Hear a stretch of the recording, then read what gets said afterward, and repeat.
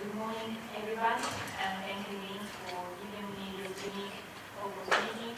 I am pleased to present you today the results on the outcome of patients with acute leukemia, of pediatric patients with acute leukemia, transplanted from NHLA partially matched relative.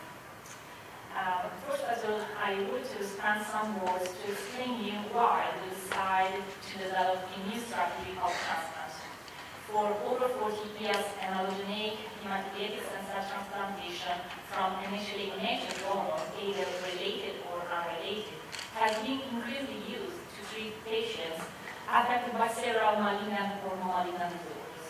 However, only 25% of the patients who need an allograft have a suitable HLA identical sibling, and for less than 60% of the remaining patients, and an alternative, unrelated volunteer donor can be found. Moreover, 40% of these patients die during the search of the suitable donor. So our effort, we are uh, focused to try to find alternative source of stem cells. And uh, based on the concept that every child that have a member family, generally one of the two parents, either the mother or the father, identical for initially haplotype and fully mismatched for the other, we try to use this source of hematopoietic stem cells that can immediately serve as hematopoietic stem cell source. And the upper transplant is intuitive, intuitive as can be an immediate transplant option for each patient that needs an allograft. And I would, I would like also to spend some words about the technique and the approach of this process. And we start by taking a large quantity of blood from one of the two parents, and we are able to collect a large quantity of different type and subset of lymphocyte. In this blood, after the mobilization with the growth factor, this process is uh, needed to increase the number of progenitor cells in the peripheral blood, we are able to retain not only CD34 positive cells in the peripheral blood, but also both alpha beta positive and gamma delta positive lymphocyte, B lymphocyte, and natural killer cells.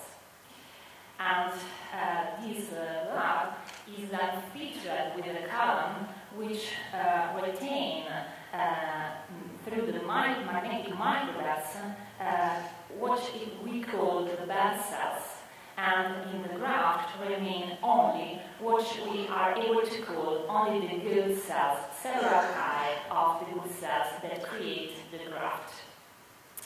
And uh, based on the experience of the other groups, and especially on the experience of the Perugia group, uh, 1995, we developed a strategy of positive selection of CD34 positive cells in order to improve the engraftment and reduce the risk of GvHD. But the physical elimination of the T matrix cells from the graft leads to a profound immunodeficiency with an increased risk of infection. And for this reason, on 2010, in 2010, we developed a new strategy with the aim to improve Uh, the first line of defense against the infectious but also to reduce the risk of leukemia recurrence. And this new approach of graft manipulation is based on the elimination from the graft of the T lymphocyte carrying the alpha beta chain and the B lymphocyte carrying CD19 positive antigen. In this way, we are able to maintain in the graft other non-ancillary stem cells, such as natural killer cells and gamma delta positive cells that can, might facilitate the engraftment and reduce the risk of infection, especially in the first months after the transplant. Uh, alpha beta cells, the dead cells, are the cells responsible to create one of the major complications of the transplant, the graft versus host disease, an attack mediated from the lymphocyte of the donor to the tissue of the patient. On the other hand, gamma delta positive cells are lymphocytes with both adaptive and innate immune characteristics that help uh, the defense against several uh, bacterial but also fungal and viral infection and are demonstrated to be able to protect uh, against the leukemia recurrence. So with this new type of strategy, uh, two types of NK mature cells will come into play. Two generated from the CD34 positive cells after six, eight weeks from the transplant, and also to generate, present in the fresh cell suspension infused into patients. The presence of uh, the cells and the prompt availability of effector alloreactive cells can evidently uh, protect killing the leukemia cells and also eliminating the residual dendritic cells and the lymphocytes of the patients uh, protect against the leukemia relapse, but also reducing the risk of the GVHD and the graft rejections.